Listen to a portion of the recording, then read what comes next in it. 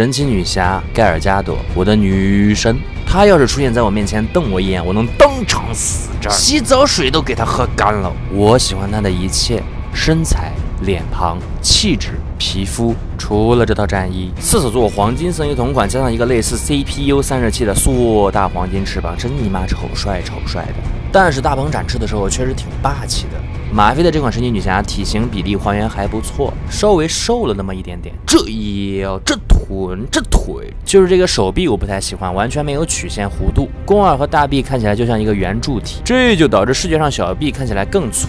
上次见到这样的臂膀还是在地狱男爵和大力水手身上，衣服的细节还不错，前后比较平滑。腿部两种材质的表现也可以，总体来说战甲做的还不错，全身都是金色的漆面，看起来很有钱。你要是细看的话，可能还是会有一些中奖情况，毕竟马飞那忽高忽低的品控你懂的。然后我就要吹这个翅膀了，两对小鸟一人，大鹏展翅，这个大鹏真的很大。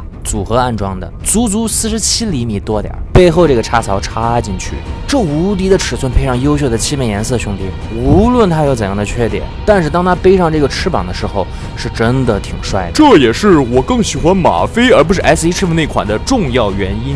分量很重，很难站立，所以马飞给了两个托，平时就要这样托一下了。夸完翅膀，我就要骂它的头雕了。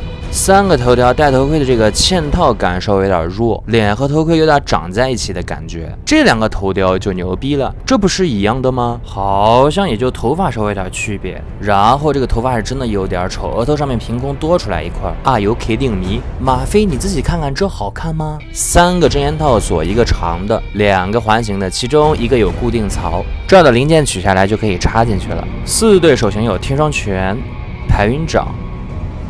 两个握持，头部的可动是这样的：胸腰胯，